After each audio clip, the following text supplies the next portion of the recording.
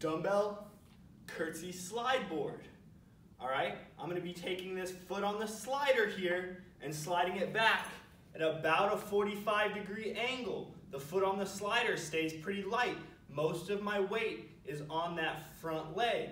And then I pull back up. I wanna keep my toes pointed straight ahead and I wanna make sure that leg that slides back, that knee crosses to the other side. I need it to cross my midline. I can't have it on that same side or I'm not gonna get the same effect. I gotta make sure it crosses that side, bend that back knee, try to get as close to the ground if you can. If you can't touch, that's okay. Just do the best you can. Right there. Dumbbell, curtsy, slide board.